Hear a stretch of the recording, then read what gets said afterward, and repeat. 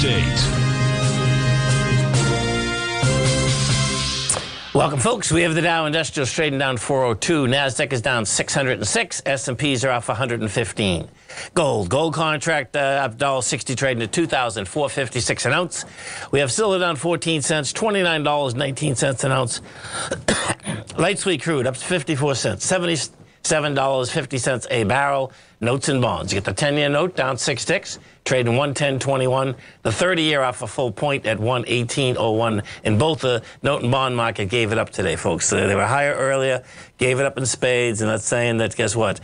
Don't sit there waiting for a rate cut because guess what? It's not coming in this meeting, that's for sure.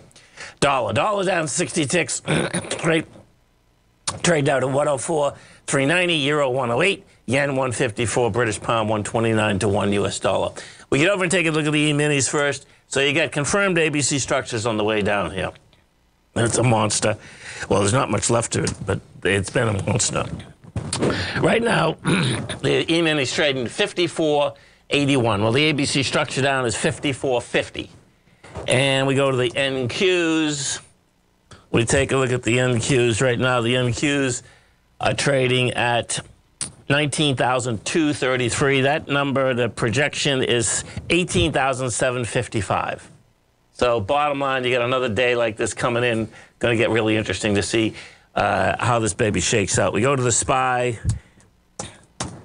And we take a look at the SPY, what you have with the SPY out here. You've done 37 million shares.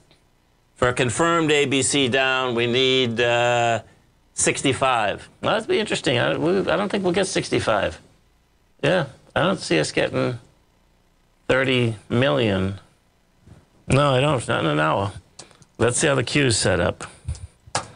So the Qs are at 37. Yeah, they're going to blow it away. And versus 42.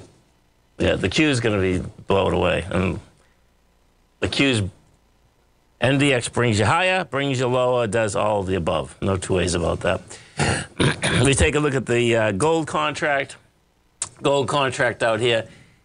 Oh, I, I know. Okay, let's do this one quick because I want to get to the note and bond market. Okay, so the gold contract did, uh, yeah, not even close, man. 97,000 contracts. That's not cool. We're going lower in gold, man. That's, yeah, the bottom of this consolidation is game in gold. Stay right there, folks. Come right back.